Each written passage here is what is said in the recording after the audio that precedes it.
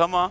Geldiğimde böyle benim modumu düşürmek için elinizden geleni yapıyorsunuz Öyle mi? sanki. Ağlıyorum diye ağlanılarak yıldız alınacak sezonu geçti dediniz finale bir iki hafta Evet. kala.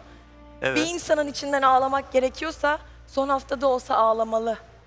Neden benim ağlamam gözünüze battı o zaman? Hiç Bunlar bir benim tek senin ağlaman değil. Ben var ile bu sırf birikim. ağladığı yüz- için kavga sürekli ettim ağlayan bir insan değildim ama. Öbürü Emel'e geçen hafta dedim ki yeter artık senin ağlamalarından çok sıkıldım. Ben- Ben herkese rahatsız olduğum şeyi belirtiyorum. Seninle herhangi kişisel bir problemim olamaz. Ben sürekli ağlayan bir insan değildim Ne ama Fark bu etmez. orada burada böyle Sen belli sürekli olmuyor. ağlayan bir insansın.